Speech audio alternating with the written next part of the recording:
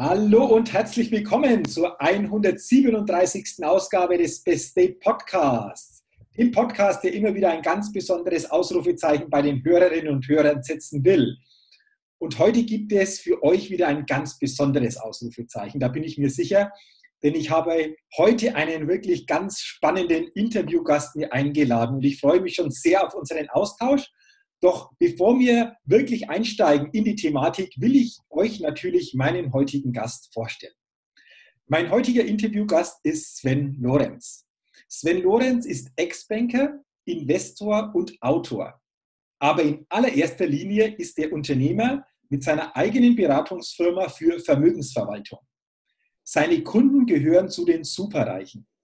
Sie schätzen seine Diskretion, seine Professionalität sein Empathievermögen sowie seine unbedingte Loyalität und seinen weitreichenden Erfahrungsschatz. Ganz besonders schätzen sie allerdings seine außergewöhnliche Fähigkeit, sich in die Problemstellung von Menschen hineindenken zu können und dann explosionsartig mit einer weitsichtigen Kreativität Lösungsansätze zu entwickeln. Lieber Sven, herzlich willkommen heute im Best State Podcast. Ich freue mich sehr, dass du dir die Zeit genommen hast und wir dieses Interview führen können. Lieber Jürgen, vielen Dank für die Einladung. Ich freue mich sehr, dass wir das heute nochmal hinbekommen, nachdem ja unser letzter Termin so unrühmlich sozusagen ähm, nicht funktionieren konnte aufgrund einer ja, Abwesenheit meinerseits. Und insofern, ja, freue ich mich jetzt natürlich umso mehr drauf, ähm, was wir hier für deine Community zusammenbringen. Aber Sven, wir waren ja da auch wegen der neuen Terminfindung dann sehr schnell und sehr kreativ. Passt ja auch zu der Beschreibung und haben wir heute gleich den nächsten Termin vereinbart. Der klappt jetzt und dann ist das doch wunderbar. Mensch, ich habe ja das in der Einleitung schon gesagt. Ähm, du bist Ex-Banker, bist jetzt äh, Vermögensverwalter, hast ein eigenes Unternehmen ich glaube, wir können wahrscheinlich den ganzen Nachmittag einen Podcast füllen, aber lass uns doch mal so auf, auf für mich und ich denke für viele interessante Punkte gucken. Äh, was hat dich denn veranlasst, so als Ex-Banker wahrscheinlich rauszugehen aus einem Angestelltenverhältnis und dann in die Selbstständigkeit und die eigene ja, Beratungs, Beratungsfirma, das eigene Beratungsunternehmen aufzubauen? Oh Gott, das könnte jetzt tatsächlich eine Stunde dauern, ähm, dir all das zu erzählen. Ich werde mal versuchen, das äh, einzugrenzen, mhm. damit wir noch Zeit für andere Fragen mhm. haben. Ähm, als ich meine Banklehre begonnen hatte, mhm. hatte ich das unbedingte Bedürfnis, mit Menschen zu arbeiten, Menschen dabei zu helfen, sozusagen ihre finanziellen Dinge richtig zu ordnen, ähm, dabei zu helfen, Vermögen zu entwickeln, Menschen einfach in der Fragestellung zu unterstützen, wo die meisten keine, keine persönliche Expertise haben. Mhm. Und über viele Jahre, die ich im Vertrieb unterwegs war, da gab es ein paar Stationen im Unternehmenskundengeschäft, ähm, wo ich äh, Pensionskassen etc. im Anlagegeschäft betreut habe. Ähm, bis hin zu meinen ersten Führungsaufgaben hat sich allerdings eine Sache für mich am meisten herauskristallisiert, nämlich, dass Banken sich sicherlich auch im Kontext der Niedrigzinsen und der sich immer dramatischer entwickelnden Niedrigzinsen ähm, von ihrem eigentlichen Geschäftsmodell entfernen. Mhm. Es geht nicht mehr darum, dass Menschen ähm, Vermögen aufbauen, dass eine Bank sich dazu verpflichtet sieht, Menschen dabei zu unterstützen. Es geht am Ende in einer Zeit, wo du mit normalem Einlagengeschäft, mit normalem Kreditgeschäft kein, kein Geld mehr verdienst, geht es natürlich sehr stark um Provision, äh, provisionslastiges Geschäft. Und ich bin über acht Jahre Führungskraft gewesen und ähm, habe natürlich auch in dieser Zeit einen sehr intensiven Blick hinter den Vorhang gehabt. Und ich musste natürlich meine Vertriebsmannschaft, wenn du eine Ergebnisverantwortung hast, natürlich jedes Jahr auch auf diese Ziele einschwören. Und dazu kam, dass eine, eine Ziel, ein Ziel in meiner Zielvereinbarung drin stand, was ich absolut nicht mochte. Es war in zwei Teile geteilt. Das erste Teil hieß, ich muss so und so viele Mitarbeiter aus meinem Team bis Ende des Jahres abgebaut haben. Mhm. Und der zweite Teil war, die verbliebenen Mitarbeiter, all die mit einer Spezialistenfunktion, muss ich sozusagen zurück ins Glied holen und aus Spezialisten wieder Generalisten machen. Das, das heißt also, Menschen zum Bauchladenverkäufer entwickeln, obwohl sie vorher eine sehr spannende und teilweise auch sehr teure Ausbildung zum Spezialisten bekommen haben.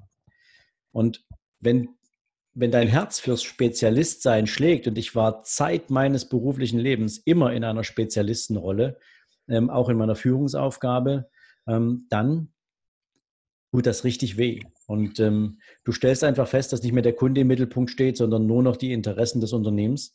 Und das passte für mich, nenn das mal aus moralischen Gründen, irgendwie nicht mehr so zusammen, um bleiben zu können. Also ich weiß nicht, ob das der ein oder andere nachvollziehen kann, wenn du dich, ähm, wenn du morgens aufstehst und du hast das Gefühl, eigentlich freust du dich überhaupt nicht auf den Tag, weil am Ende kommst du nach Hause und du hast nicht das gemacht, wofür dein Herz schlägt. Und ähm, wenn die Gespräche überhand nehmen, in denen du Menschen sagen musst, dass die berufliche Karriere, für die sie sich mal entschieden haben, ein Ende hat. Und nicht, weil sie das so wollen, sondern weil das Unternehmen einfach eine neue Strategie fährt, dann war das etwas, was ab irgendeinem Punkt nicht mehr für mich funktioniert hat. Dann habe ich trotzdem noch eine Weile gebraucht, um die Entscheidung zu treffen. Und dann habe ich gesagt, ich gehe. Und das Spannende war, dass ich zu dem Zeitpunkt, wo ich die Entscheidung getroffen hatte, überhaupt noch keine Ahnung habe, was ich danach machen werde. Okay, das klingt jetzt spannend. Ähm, du sagtest, Sven, du hattest keine Ahnung, was du genau machen würdest. War dennoch für dich so im Hinterkopf ähm, weiterhin so in dem Bereich des, des Geldes, der, der, der Beratung zu bleiben oder warst du da komplett offen, als du diesen neuen Weg eingeschlagen hast? Thematisch meine ich jetzt.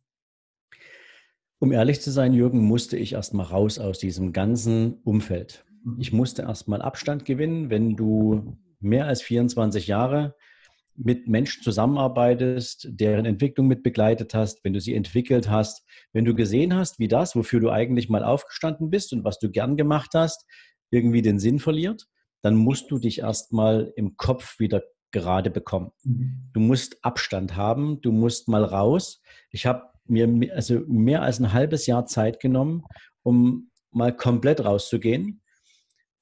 Ich konnte mir das zum Glück leisten, sagen wir es mal so rum. Ich habe natürlich während meiner Bankzeit äh, natürlich auch meine Hausaufgaben gemacht mit Vermögensaufbau und Investmentstrategien etc. Ähm, und der Handschlag, mit dem ich mich von der Bank verabschiedet habe, war jetzt auch nicht so ganz kühl. Das heißt also, ich konnte mir tatsächlich die Zeit nehmen und es mir erlauben ähm, mal für eine längere Zeit eine Auszeit zu nehmen, um mich zu sortieren. Mhm. Und das ist, das war echt nötig. Und dann kam die Liebe zurück.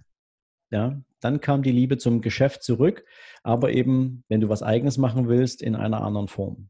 Mhm, okay, du sprichst jetzt was Interessantes an.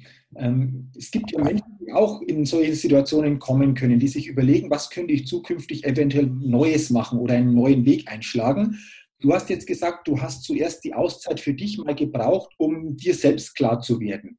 Ist es für dich grundsätzlich wichtig? Klar, jeder ist natürlich unterschiedlich, aber die Auszeit zum einen und was war für dich in dieser Auszeit noch wichtig, als du dann erkannt hast, so sieht mein zukünftiger Weg aus, wie du so diese Klarheit für dich hattest?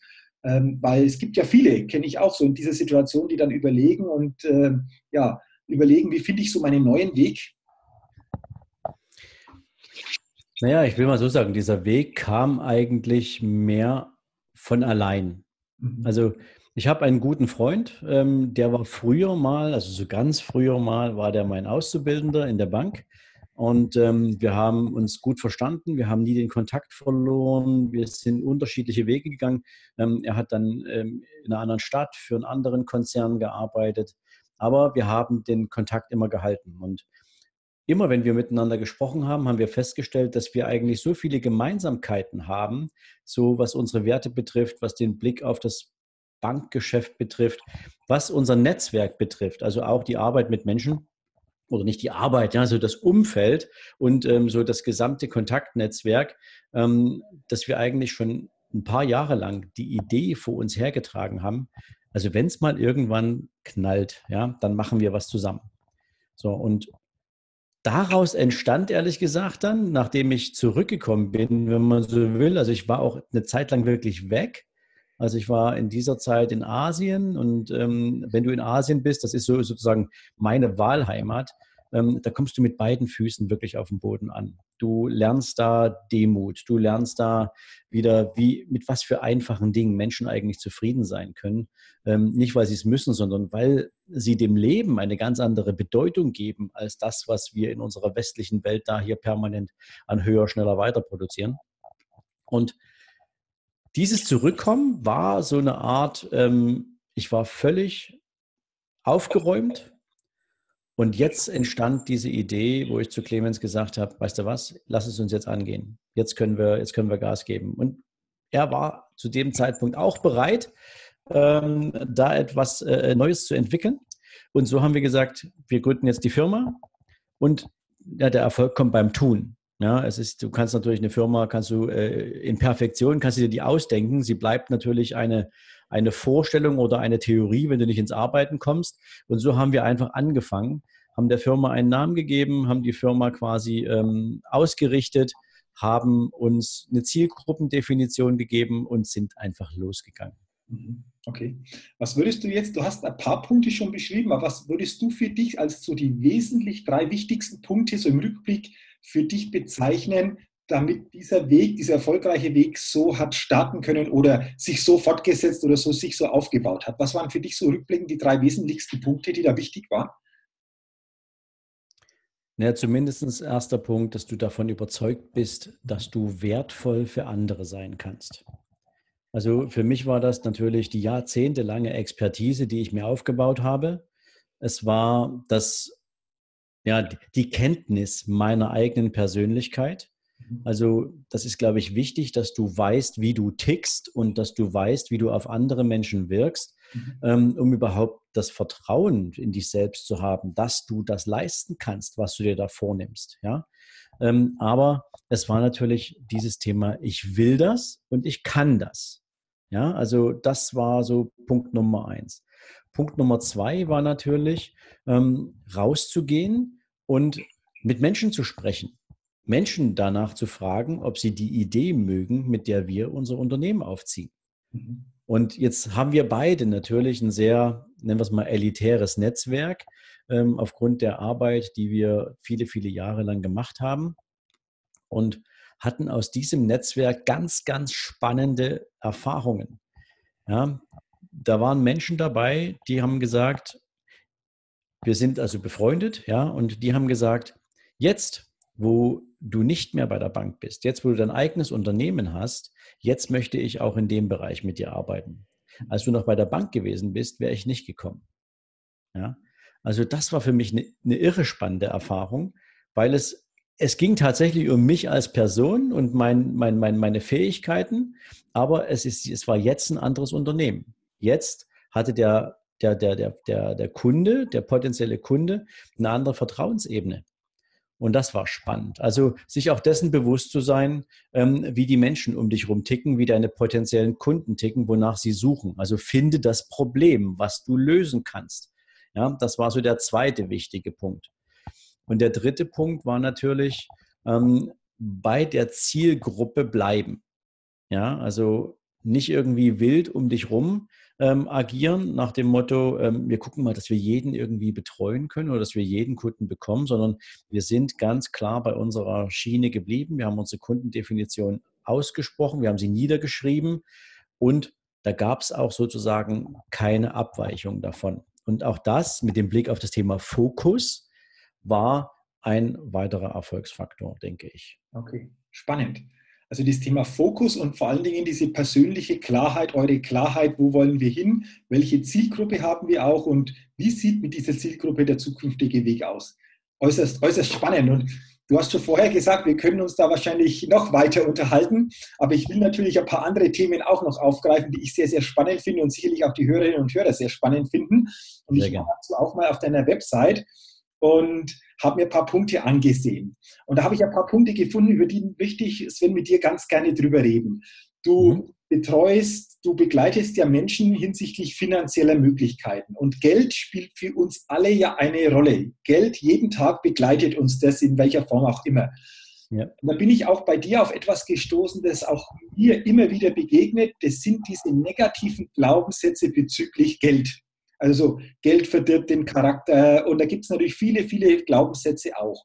Ähm, und jetzt, wenn ich dich als Fachmann, als Finanzfachmann da habe, aus deiner Erfahrung, wie schränken solche negativen Glaubenssätze ein und aus deiner Sicht, Wie kann ich, wenn ich das entdecke, diese Glaubenssätze auch drehen? Welche Erfahrungen hast du da gemacht und ist das für dich ein ganz, ganz zentraler Punkt, um auch selbst persönliches Vermögen überhaupt aufbauen zu können? Diese Glaubenssätze bezüglich dem Geld?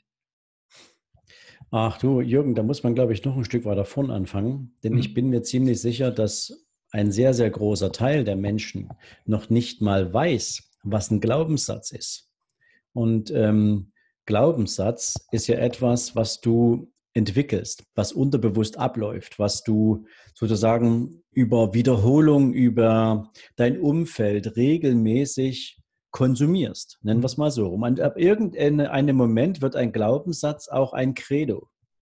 Und dann lebst du danach und du musst dich nicht mal dafür entscheiden. Es ist einfach etwas, was gelebte Praxis wird.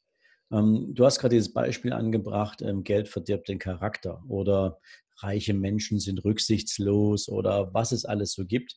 Ähm, und ich bediene mich da natürlich gerne auch so ein paar Beispielen, die ich mir allerdings ausgeliehen habe. Ein guter Freund von mir ist zum Beispiel Dirk Kräuter, den du ja auch kennst, mhm. Europas erfolgreichster Vertriebstrainer.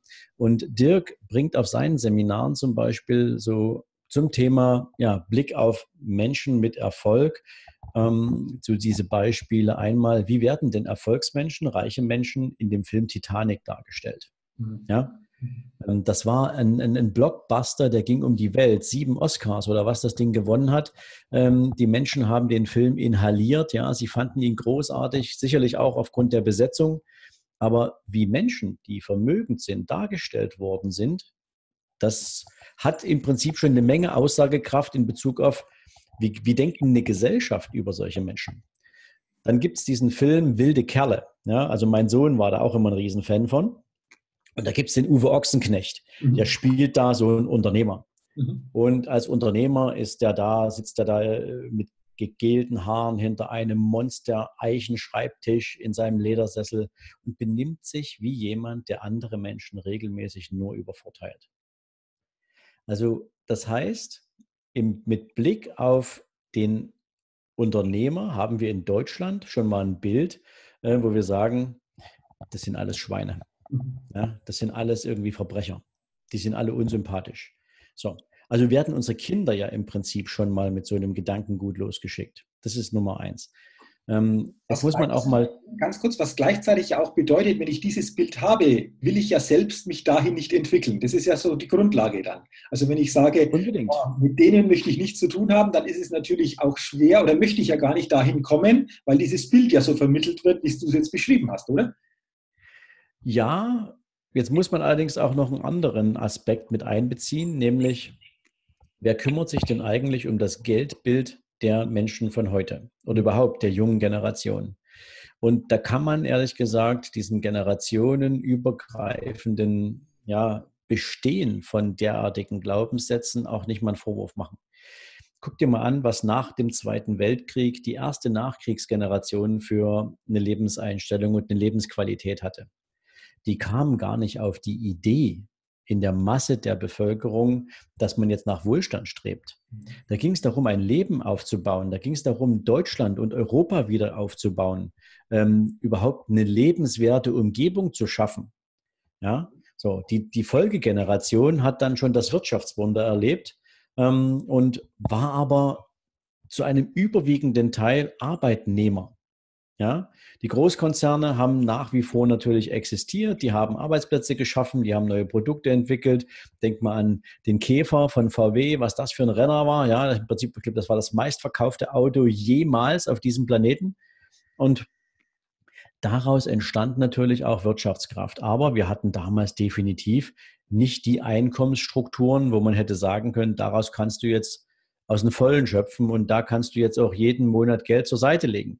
Konsumkredite hat kein Mensch dran gedacht. Das hieß, Anschaffungen, die anstanden, die man sich jetzt ermöglichen wollte. Und wenn es nur ein Farbfernseher war oder wenn es ein Kühlschrank war, ein neuer oder ein neues Auto, das wurde angespart und erst dann angeschafft. Das war eine völlig andere Mentalität.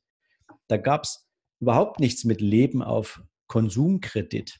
So, jetzt haben sich diese Generationen entsprechend weiterentwickelt, aber niemand kam mir auf die Idee, dass Vermögen aufbauen eine total spannende Sache sein kann und dass man damit eine ernsthafte Chance bekommen kann, überhaupt ja, ein finanziell unabhängiges oder freies Leben zu führen.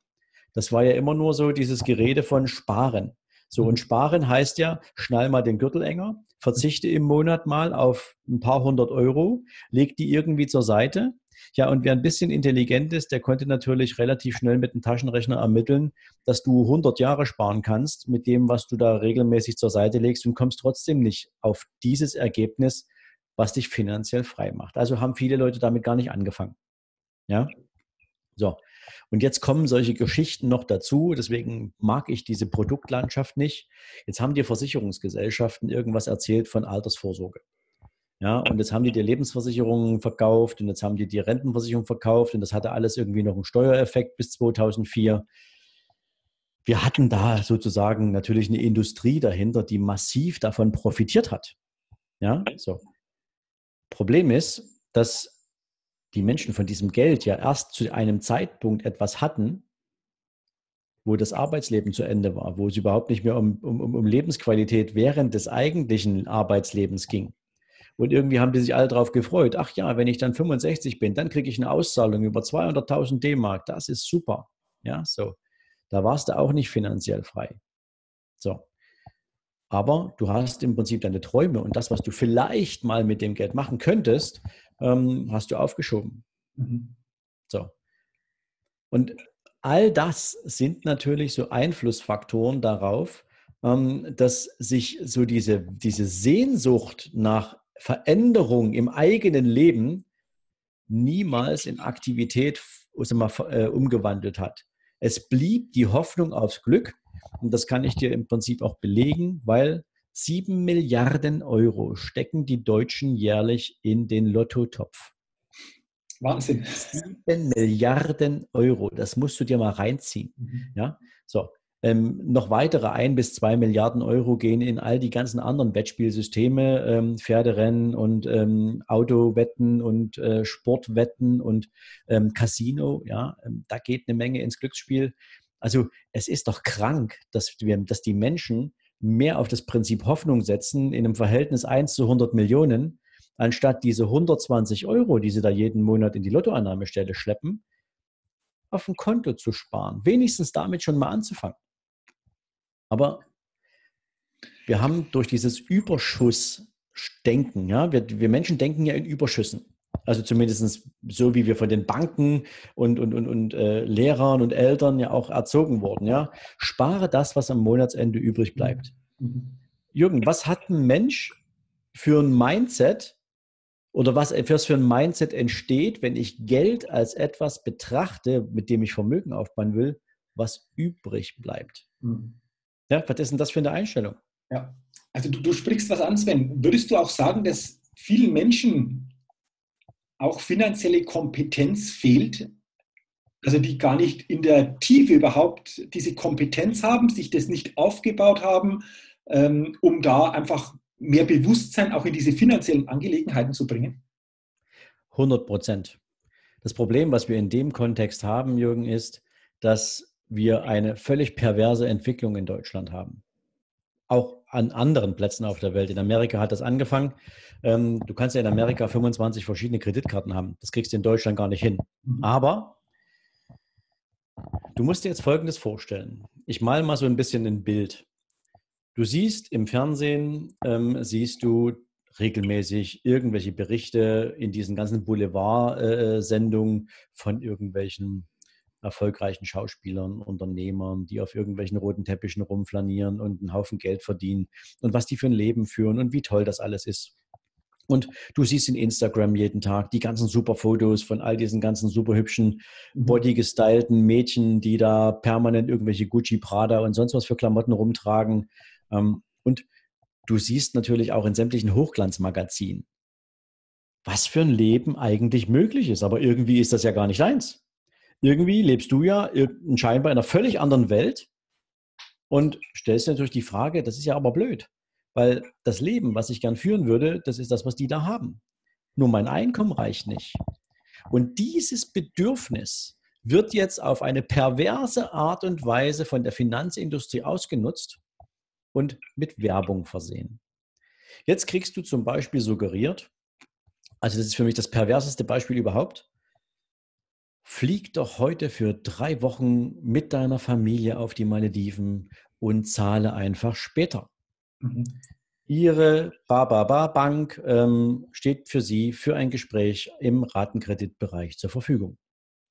Oder die Menschen kriegen jede Menge Briefe nach Hause geschickt. Also ich kriege jede Woche drei oder vier solche Schreiben, wo da drin steht, was für ein fertiges Kreditangebot ich eigentlich bei einer Bank nur noch abholen muss. Nochmal zurück zu diesem Urlaubsbeispiel. Ja? Jetzt stell dir das mal vor. Ein Mensch sehnt sich danach, der vielleicht jahrelang nicht in Urlaub fahren konnte.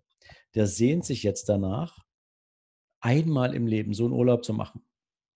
Jetzt geht er in die Bank und macht einen Konsumentenkredit klar für 7.000, 8.000 Euro und sagt, dann zahle ich das eben halt mit 50 oder 60 Euro Raten über die nächsten acht Jahre ab.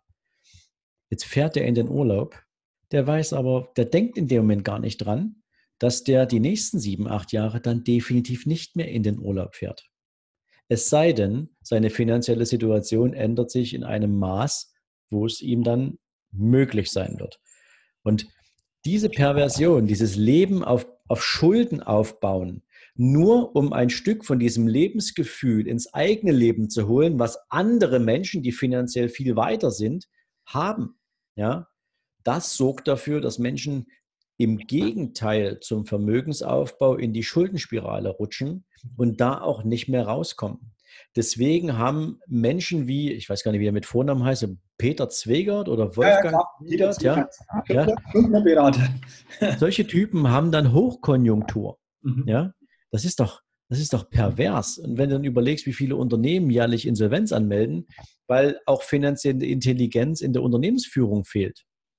Ja, die meisten Unternehmer oder sagen wir mal die meisten, die mit als Selbstständige anfangen, die haben mit Sicherheit eine hohe Kompetenz in ihrem Fachgebiet, mit dem sie sich selbstständig machen.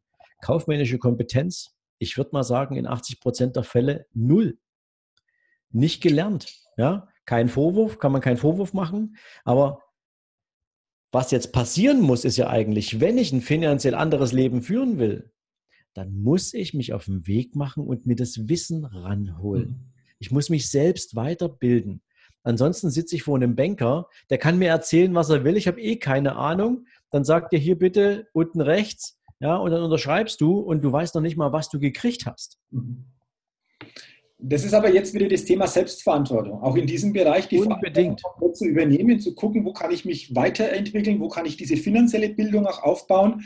Dann noch eine andere Frage. Wäre es für dich auch so ein Thema, dieses Thema auch rund um die Finanzen, diese finanzielle Intelligenz schon viel eher, vielleicht sogar in den Schulen oder bei Jugendlichen schon ganz anders, denen das zu vermitteln, ähm, von Experten, von wirklicher Kompetenz, damit da schon ein ganz anderes Mindset, auch eine ganz andere Beziehung zum Geld entsteht? Wäre das so eine Möglichkeit?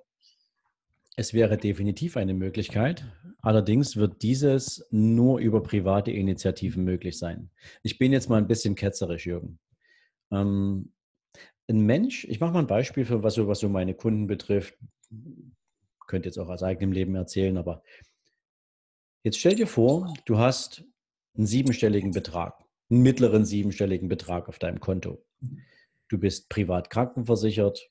Du weißt, selbst wenn du dir irgendwelche Anwartschaften erarbeitet hast, mal in einem früheren Leben aus einem Angestelltenverhältnis heraus, um mal irgendwann aus der gesetzlichen Rentenversicherung etwas zu bekommen, ähm, brauchst du die eigentlich nicht. Weil dein Vermögen groß genug ist, um dir jeden Monat Erträge zu erwirtschaften, aus denen du leben kannst, ohne dass das Geld dabei kleiner wird. Mhm. Der Betrag bleibt gleich. So, ähm, das wäre doch ein ziemlich cooler Umstand, oder? Das wäre sicherlich cool für viele. Klar, so. oder für alle. Ja, genau, so. Das, da, da sagt jeder Mensch ja. Mhm. Was steckt eigentlich jetzt dahinter? Dieser Mensch, der so eine Vermögenswerte hat, der weiß, dass er und seine Generationen nach ihm definitiv nicht auf irgendwelche staatlichen Programme, staatliche Hilfe, irgendwelche Sozialprogramme, irgendwelche Kassen, Versicherungen oder sonst irgendwie angewiesen sind. Diese Menschen haben ein Leben unabhängig von staatlicher Aufsicht, unabhängig von von, von staatlichem Zwang. Wenn du zu viele von solchen Menschen hättest, brauchst du dann eigentlich noch so ein demokratisches Gerüst, wie wir haben? Kannst du dann im Prinzip in dieser Umverteilungsdiskussion von Grünen, SPD und all denen, die sozusagen denen, die hart arbeiten, regelmäßig Geld wegnehmen wollen, ja, um anderen, die vielleicht nicht mutig genug sind, was Eigenes auf die Beine zu stellen, ähm, jetzt davon wieder was abzugeben, ja? Nein, du brauchst natürlich diese graue Masse, du brauchst eine Menge Menschen, die abhängig von einem System sind. Ansonsten wirst du halt nicht wiedergewählt. So, also beantwortet sich eigentlich die Frage schon selbst, dass eine Politik überhaupt nichts dafür tun wird, finanzielle Bildung, finanzielle Selbstverantwortung frühestmöglich in die Köpfe unserer Kinder reinzukriegen. Mhm. Das ist und bleibt eine Aufgabe der Eltern. Aber wer bildet denn die Eltern aus? Das macht auch kein Mensch. Ich freue mich jetzt gerade, einer meiner Teilnehmer in meinem Mastermind-Programm wird ein Buch zum Thema Finanzen für Kinder schreiben. Und zwar nicht nur ein Buch, er wird im April mit dem ersten Band rauskommen und ähm, dann wird das ein, ich glaube, 20 Bücher wird er dazu schreiben. Also es wird ein richtiger Band für finanzielle Bildung für Kinder. Leicht, ohne mit dem Zeigefinger irgendwie zu zeigen, sondern dass Kinder sich mit dem Thema Geld auf eine spielerische und leicht verständliche Art und Weise auseinandersetzen können. Das wird, glaube ich, noch ein bisschen spannender und ein bisschen tiefgründiger als ein Hund namens Money, was ja schon mal so ein Vorreiter war, den Bodo Schäfer geliefert hat. Und von daher, das ist das, was ich meine, es bleibt eine private Initiative. Mhm ich kann es nur bestätigen, was du jetzt gesagt hast. Ich habe vor einigen Jahren, der ist jetzt, äh, wird jetzt 17 heuer, ist jetzt noch 16, vor einigen Jahren meinen Neffen manche Punkte in diese Richtung schon mitgegeben. Sven, der, der denkt jetzt anders, äh, wie viele andere in dem Alter schon über dieses Thema der Finanzen. Was kann er tun? Er achtet heute schon ganz anders auf bestimmte Punkte. Und ich glaube, das ist äh, eben das, was du jetzt gesagt hast, da schon anzufangen. Und wenn dann jemand natürlich da sowas dann in die Welt bringt, dann ist es natürlich äh, eine tolle Sache, weil viele, denke ich, in diesem Alter der Kinder, aber auch der Heranwachsenden unheimlich davon profitieren können. Super. Unbedingt, unbedingt, ja. Und ich, ich glaube, viel mehr Menschen müssten diese Verantwortung noch übernehmen. Ähm, deswegen bin ich ja auch mit meinem Podcast so aktiv draußen, damit möglichst viele erwachsene Menschen sich mit dem Thema auseinandersetzen und lernen, welche Faktoren führen eigentlich zu persönlichem Wohlstand aber das, das Interesse muss vorhanden sein. Das Interesse auch, sich mit sich selbst zu beschäftigen. Du hast das vorhin angesprochen. Selbstverantwortung ist eines der Themen, um die es da geht. Aber es geht auch halt wirklich um Interesse. Mhm. Weil wenn du dir mal anschaust, was in den letzten Jahren für Stilblüten äh, ähm, unterwegs waren mit Blick auf schnell reich werden Seminare, mit Blick auf ähm, du musst nur 5 Euro investieren und kriegst 100 Euro zurück. Ja? All diese ganzen Bullshit-Werbungen in Facebook und Co., ähm, wo dir irgendwelche Pappnasen was erzählen von, ähm, wie du ganz schnell reich werden kannst. Und die Leute springen drauf an. Ich habe mir mal den Spaß gemacht und habe mal so eine Zeit lang in solchen Gruppen die Kommunikation verfolgt. Und auf solche wirklich plumpen und idiotischen Werbungen, wo noch nicht mal im Ansatz erwähnt wurde, worum es überhaupt geht, schicken die Menschen alle einen eine, eine, Kommentar, da steht nur drin PN, PN, PN, PN, PN, PN, wo ich sage, sag mal, seid ihr eigentlich alle deppert? Haben die alle irgendwie nichts gelernt? Wie groß ist die Sucht nach schnellem Geld? Und wie ist das ist die Bereitschaft ausgeprägt, was zu tun. Ist mhm. auch ein Problem. Aber das ist ja ein gutes Beispiel, dass sehr, sehr viele in diese Richtung etwas wollen, auf einem kurzfristigen Weg, aber gar nicht überreißen, dass es so eben nicht funktioniert. Äh, Sven, lass uns doch mal gucken. Ähm, du hast es ja angesprochen, dass ein Vermögensaufbau wichtig ist. Ich glaube, das ist ein sehr komplexes Thema und sicherlich individuell auch durchaus unterschiedlich. Aber aus deiner Sicht so ein paar wesentliche Tipps und auf und wichtige Punkte, auf die jeder achten sollte, um einen Vermögensaufbau wirklich erfolgreich gestalten zu können. Was wäre das aus deiner Sicht?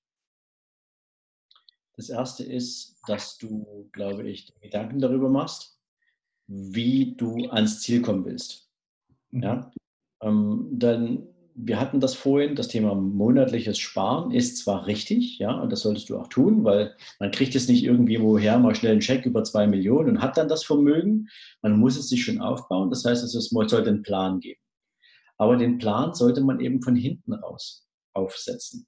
Man sollte sich überlegen, wo will ich denn ankommen? Mhm. Und ähm, bis wann möchte ich denn am Ziel sein? Ich mache immer gern das Beispiel, wer 10.000 Euro im Monat netto gern hätte aus seinem Vermögen, ja, der braucht dafür ungefähr 3,2 Millionen. So. Und äh, 3,2 Millionen klingt jetzt verdammt viel für jemanden, der noch nicht mal 100.000 hat, aber es ist definitiv machbar. Warum? Wenn ich vom Ende her denke, und mir überlege, was muss ich denn jetzt eigentlich monatlich zur Seite legen, um auf dieses Ziel zu kommen, wenn mir dieses Ziel jetzt wichtig ist. Ja, das können nur 5000 Euro sein oder 3000 Euro, je nachdem. 3000 Euro kriegst du schon mit einer Million zusammen, ja, äh, jeden Monat. Aber die Frage ist ja eher, was muss ich jetzt tun, um dieses Ziel zu erreichen? Jetzt kann man das runterrechnen und sagen, was weiß ich, meinetwegen innerhalb von 20 Jahren willst du jetzt deine Million haben oder deine drei Millionen haben. Und jetzt kannst du rechnen und sagen, was muss ich heute anfangen zu sparen? Unterstellst eine Rendite mit einem coolen Aktienfonds, da sind wir auch beim Thema, nimm das richtige Investment dafür. Ähm, und dann fängst du an, dir monatlich Vermögen aufzubauen. Jetzt werden viele natürlich sagen, auf diesem, aus, diesem Rechnung, aus dieser Rechnung geht ja hervor, ich müsste jeden Monat mindestens 2000 Euro einzahlen, damit ich irgendwann mal auf diese, auf diese, auf diese Millionen komme oder auf diese drei Millionen komme. Das ist überhaupt nicht möglich, weil ich habe sogar nicht so viel Einkommen. Jetzt unterscheidet sich die ganze Geschichte in die, die es wirklich schaffen werden und die es machen werden. Und dafür kenne ich genügend Beispiele, die das schon auf den Weg gebracht haben. Das sind die Menschen, die ich zum Beispiel mit meiner Mastermind begleite. Und es bleibt der Rest. Und wo der liegt Rest, der Unterschied? Also wo liegt der Unterschied, die weitermachen und der Rest, der bleibt? Wo ist da aus deiner Sicht so dieser Knackpunkt? Der Knackpunkt ist, dass wenn ich weiß, dass mein monatliches Einkommen aus einem Angestelltenverhältnis, und das wird wahrscheinlich 90 Prozent der Menschen betreffen, nicht ausreicht, um überhaupt Vermögensaufbau in den Dimensionen aufzusetzen, wie ich das brauche, um dieses Ziel anzusteuern, dann weiß ich eigentlich, ich muss mehr Einkommen generieren. Und mehr Einkommen kann ich nur durch den Aufbau verschiedener anderer Einkommensströme generieren. Ob ich jetzt zum Beispiel Immobilieninvestor werde, und ohne Eigenkapital mir eine Immobilie anschaffe, die von der Bank finanzieren lasse und in zehn Jahren erwirtschaftet diese Immobilie regelmäßig 1000 Euro, von denen ich dann irgendwie 500 netto behalten kann. Oder ob ich das mit einem ganzen Immobilienportfolio mache. Oder ob ich sage, ich gucke mal, wofür ich denn sonst noch so gemacht bin. Mhm. Ich hatte ganz am Anfang mal auf deine Frage geantwortet, dass ich für mich erstmal rausfinden wollte, welchen Wert habe ich eigentlich für andere Menschen? Und diese Frage kann sich jeder da draußen stellen. Jeder. Und ich mache immer gern das Beispiel von der Hebamme. Die Hebamme bringt jeden Tag irgendwie mit den Müttern natürlich Kinder auf die Welt. Und eine Hebamme hat noch Schichtdienst und jetzt lassen wir noch, wir sind eine alleinerziehende Hebamme ähm, und die wäre gern finanziell anders aufgestellt als mit ihrem Hebammengehalt. Ja? Was könnte die jetzt denn tun? Der normale, nennen wir es mal hoffnungslose Mensch würde sagen, gar nichts. Die, wenn die jetzt nicht den Job wechselt, wird da gar nichts passieren. Jetzt sage ich, das stimmt nicht. Eine Hebamme zum Beispiel hat wahrscheinlich, wenn sie ein bisschen Berufserfahrung mitbringt, ganz, ganz spannende Geburten erlebt. Mhm. Und die könnte jetzt mal einen super coolen Bericht darüber schreiben ähm, oder ein Buch für, keine Ahnung, für Mütter oder wie auch immer, die zehn krassesten Geburten, die ich jemals erlebt habe. Mhm. Einfach, weil Menschen sowas, solche Themen interessieren. Sie könnte zum Beispiel auch hergehen und sagen, einen Ratgeber für Frauen schreiben, wie schaffst du es, deinen Mann davon zu überzeugen, bei der Geburt dabei zu sein? Mhm. Mhm. Oder keine Ahnung, eine Menge Frauen haben wahnsinnige Angst vor einer Geburt und sind deswegen echt irgendwie äh, auch teilweise hin und her gerissen, ob sie sich eine Schwangerschaft zumuten wollen. Mal unabhängig von dieser ganzen Geschichte ähm, mit einem, äh, mit, dem, mit, mit diesem Muttergefühl. Ja? Jetzt kann ich natürlich leicht reden als Mann, aber praktisch diese, diese Beispiele sollen einfach mal zeigen, eine Hebamme hat ganz, ganz viel Potenzial auf Basis ihrer Erfahrung. Es ist nur die Frage, in welchen Kanal gießt sie diese Erfahrungen hinein und für wen sind sie denn wertvoll? So.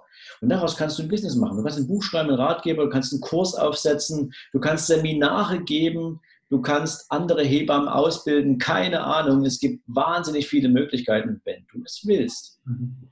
Und dann kannst du deine, dein Einkommen wahrscheinlich sogar noch in Dimensionen entwickeln, ähm, wo dein Nebenverdienst viel größer ist als deine, dein Job, als das Geld, was du aus dem Job für, als Hebamme bekommst. Okay. Ja? Also das sind mal nur so Ansätze. Und das gibt es definitiv für jede Branche. Ob du ein Kfz-Mechaniker bist, ob du ein Koch bist, ob du Friseur bist, spielt überhaupt keine Rolle. Mhm. Die Frage ist nur, willst du? Also coole Ansätze. Zum einen vom Ende her mal denken, also wo will ich denn hin? Was bedeutet das jetzt für mich? Von dem jetzt mal gucken, wie kann ich das schon wirklich ertragreich auch anlegen? Und wenn ich noch Lücken habe, offener zu denken, was habe ich in meinem Umfeld, was habe ich sowieso vielleicht in mir, was ich jetzt noch gar nicht so unmittelbar sehe und wie kann ich da anderen Menschen Nutzen geben. Und äh, das stimmt, ähm, kann das nur bestätigen. Da kommen teilweise Ideen, wenn du mal in diese Richtung zum Denken anfängst, wo viele jetzt noch gar nicht dran glauben können, dass das überhaupt möglich ist. Deswegen super. Also danke für, für, die, für die Tipps. Sven, bevor das wir zum Ende in die Schnellfragerunde kommen, möchte ich von dir gerne noch eines wissen von einem Finanzprofi. Was mhm. bedeutet mhm. es, oder ganz kurz ähm, vielleicht von der Antwort, was bedeutet Geld denn für dich? Oh, Geld bedeutet für mich einfach nur Freiheit. Okay. Geld ist für mich Freiheit, um all die Dinge tun zu können, die ich immer gerne tun wollte. Mhm. Für andere Menschen da sein, reisen. Diese, und das ist die Kernaussage, die für mich dahinter steht. Für jeden anderen hat das vielleicht auch eine andere Bedeutung. Aber für mich steht darin, erkannt zu haben, dass dieses Leben eben nur einmal stattfindet. Mhm. Und dass ich mich dafür entschieden habe, aus dieser Zeit, die mir hier gegeben ist und die ich aktiv gestalten kann und das ohne fremde Hilfe, dass ich in dieser Zeit meine Zeit auf diesem Planeten möglichst mit einer wahnsinnig hohen Qualität versehen will. Mhm. Und das hat nichts mit Konsum zu tun im Sinne von Statussymbole, teures Auto, neue Yacht oder sonst so ein Quatsch. Ich will diese Welt sehen. Ich will den Planeten kennenlernen, auf dem wir leben. Und dafür brauche ich Geld. Und ich möchte anderen Menschen helfen, vielleicht ein besseres Leben zu führen als jetzt. Und auch dafür brauche ich die finanziellen Mittel im Background, damit ich mir keine Sorgen darüber machen muss, ob ich mir das leisten kann oder nicht. Mhm. Toll erklärt. Also vielen Dank schon mal für, so, für deine Tipps, für deine wirklich inspirierenden Impulse, auch mal weiter zu denken, vor allen Dingen, was dieses Thema betrifft, mal tiefer zu denken. Und äh, da sage ich jetzt schon herzlichen Dank dafür, weil da sind wirklich so richtige Perlen auch dabei gewesen. Und ähm, zum Ende des Podcasts, wie bei jedem Interviewgast, will ich das natürlich auch mit dir machen, so diese Schnellfragerunde, um dich so als Mensch auch noch ein bisschen mehr kennenzulernen. Und ähm, eine Frage mit der Bitte um eine kurze Antwort. Und lieber Sven, wenn du soweit bist, dann will ich mit dir auch in diese Schnellfragerunde einsteigen. Also schieß los, ob ich natürlich so schnell antworten kann, wenn es eine Schnellfragerunde ist. Ähm, das müssen wir jetzt mal sehen. Okay. okay, gucken wir doch mal. Was sind denn, Sven, aus deiner Sicht deine drei größten Stärken, die du hast? Meine drei größten Stärken. Kreativität. Also ich glaube, ich bin wahnsinnig kreativ. Ähm, das merken viele Menschen, mit denen ich arbeite, was da alles so für Ideen entstehen. Ich arbeite extrem fokussiert. Mhm. Das heißt also, entweder ich kümmere mich um eine Sache oder ich kümmere mich nicht um die Sache. Das ist ähm, für mich ganz, ganz wichtig, äh, mich nicht zu verzetteln und Zielstrebigkeit. Also ich setze mir ein Ziel und ähm, dann komme ich auch da an. Okay. Also ich schmeiße kein Ziel weg, ich komme da an. Mhm. Okay, cool, super. Drei große Stärken. Gibt es auf der anderen Seite auch etwas, wo du sagst, ja, da merke ich, das ist auch so eine Schwäche von mir? Puh, ähm, ja, Geduld ist absolut nicht meine Stärke. okay. Okay. Okay, Geduld auf der einen Seite ein bisschen die Schwäche, aber okay, hat ja jeder auch so seine Teile, wo er sagt, da können wir alle noch dran arbeiten. Ähm, für die nächste Frage, gibt es eine coole Gewohnheit, die du hast? Da muss ich jetzt, da muss ich jetzt mal kurz, kurz nachdenken, weil das betrachten ja eigentlich immer andere Menschen, mhm. äh, ob man irgendwie eine coole Gewohnheit hat. Ich kann dir sagen, was ich gern mache. Ob das ja, jetzt andere cool finden, weiß ich nicht. Mhm. Ähm, ich habe es mir zur Angewohnheit gemacht, Menschen, die mir wichtig sind, regelmäßig ähm, mit Kleinigkeiten zu erfreuen, zu überraschen oder wie auch immer. Einfach irgendwie das Gefühl mitzugeben, ich wünsche dir einen tollen Tag, ich möchte, dass du heute ein besonderes Erlebnis hast. Ähm, das sind ganz kleine Sachen, ja, mal eine Nachricht oder irgendwie. Aber so dieses, das Leben anderer Menschen einfach ein bisschen schöner machen, dadurch, dass du an die denkst und dass du irgendwie was für die tust. Gut, dann sagen wir doch, es ist eine schöne Gewohnheit. Eine schöne Gewohnheit. Ja, genau. Super. Ähm, Sven, welches große Ziel oder welchen großen Wunsch hast du noch? Oh, die Liste ist lang. Ja. Mhm.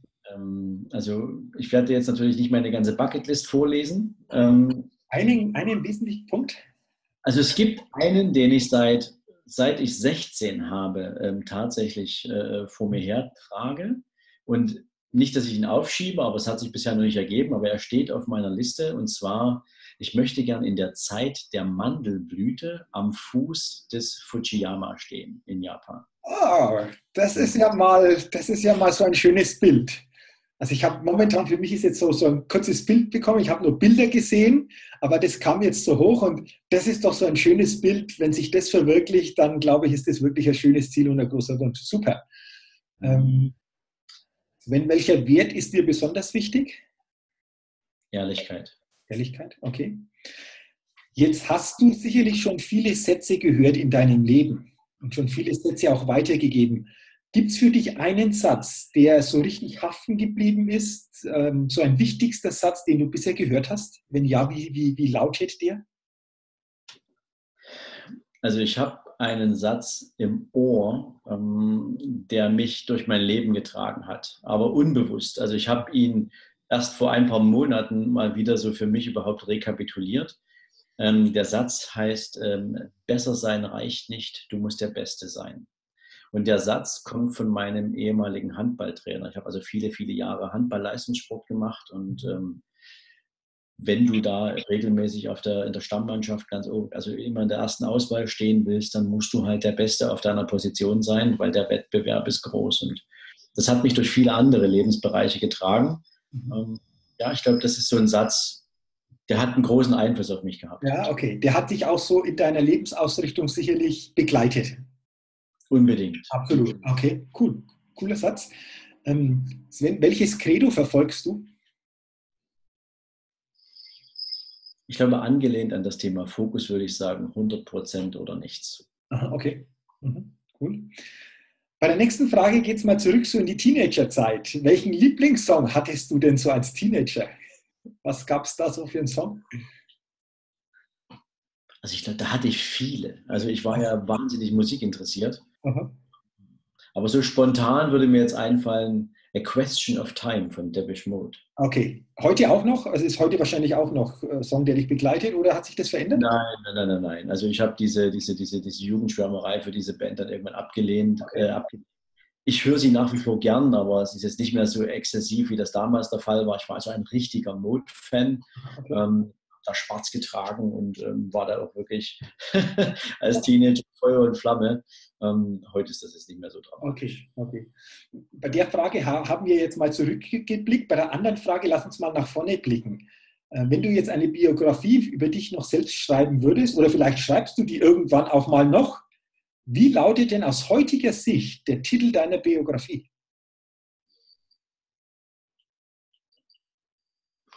Das ist jetzt nicht so leicht. Aber ich würde vielleicht meine Biografie anlehnen an das, was ich mir verschrieben habe oder das, was ich für andere Menschen an Bewusstsein schaffen will. Ich glaube, ich würde die Biografie nennen, Du bist mehr. Ah, okay. Coole Titel. Aha, du bist mehr. Aha, okay. Sehr schön. Du, die drittletzte Frage. Situation kennen wir. Wir fahren mit einem Fahrstuhl in einem Hochhaus oder in einem Hotel nach oben und aus irgendwelchen Grund bleibt der Fahrstuhl jetzt stehen. Also es geht nicht mehr weiter. Das ist immer so ein guter Moment. Wir können nicht viel machen, wir können warten, bis das wieder sich in Bewegung setzt.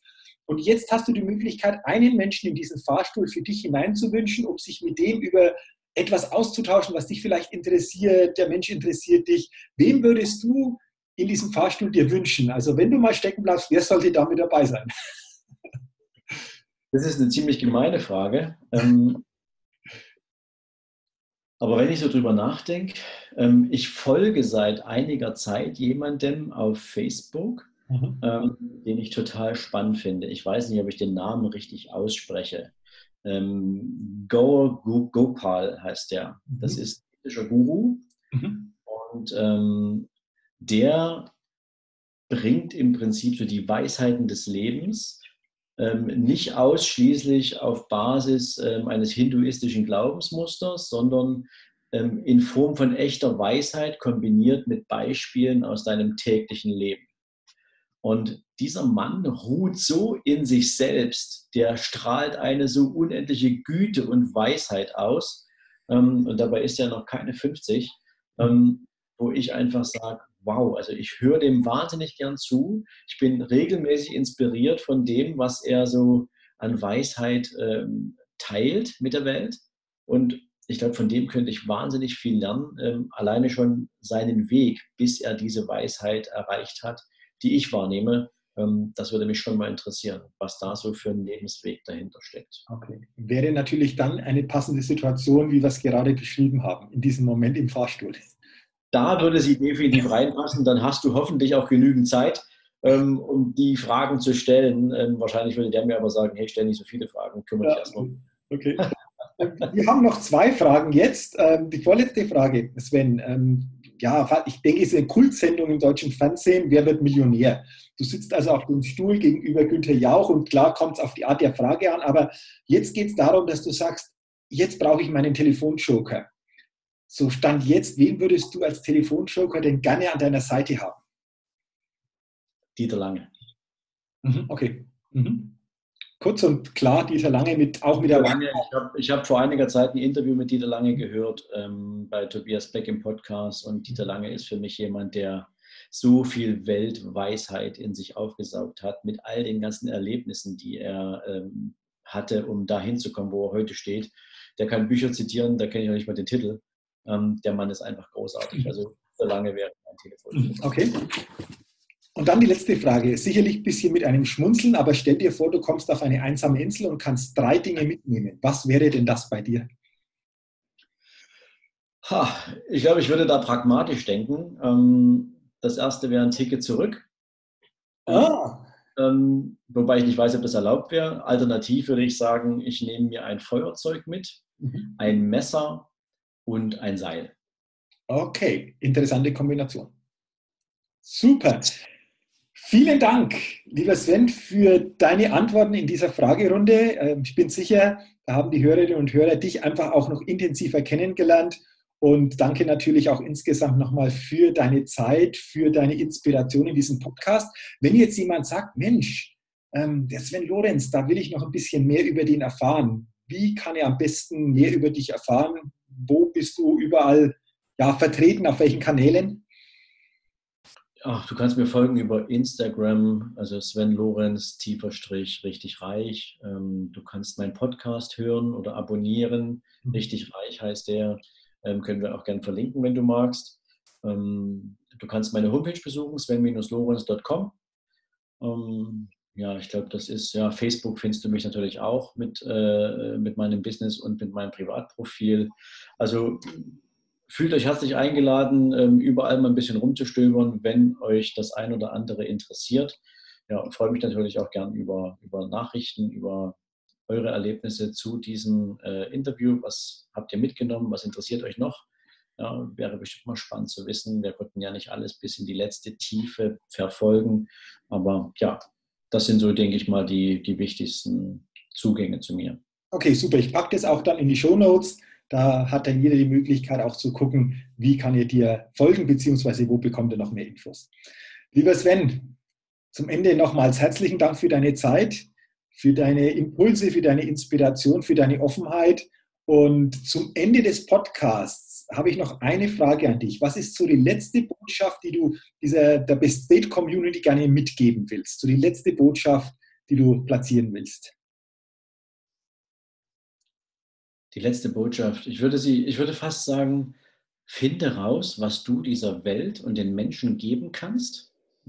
Hab den Mut, diese Idee zu entwickeln und fang einfach an, auch wenn du es nebenher tust, auszuprobieren ob die Welt darauf reagiert. Das ist eine spannende Erfahrung. Spannende Erfahrung und eine tolle Botschaft zum Ende des Podcasts. Vielen Dank auch dafür nochmals. Ich wünsche dir auch weiterhin natürlich persönlich alles, alles Gute, möglichst viele tolle, erfüllende tägliche Momente, weil ich glaube auch, dass das für dich eine ganz wesentliche Lebenszeit auch bedeutet, Erfüllung zu haben, erfüllend, ähm, ja, Erfüllung den Menschen auch weiterzugeben in dem, was du magst, diese Freiheit zu bekommen und dann einfach Dinge tun zu können, die wirklich auch wichtig sind und dafür natürlich dir alles, alles Gute auch in der Zukunft. Vielen Dank, lieber Jürgen. Ja, liebe Hörerinnen, liebe Hörer, vielen Dank, dass auch du heute bei dieser Folge wieder dabei warst und in den Best State Podcast hineingehört bzw. auch hineingeschaut hast. Ich wünsche dir natürlich auch weiterhin alles, alles Gute. Freue mich, wenn du beim nächsten Mal wieder mit dabei bist und denke immer daran, entdecke in dir, was möglich ist und gestalte, was du erleben willst. Bis zum nächsten Mal, dein Jürgen.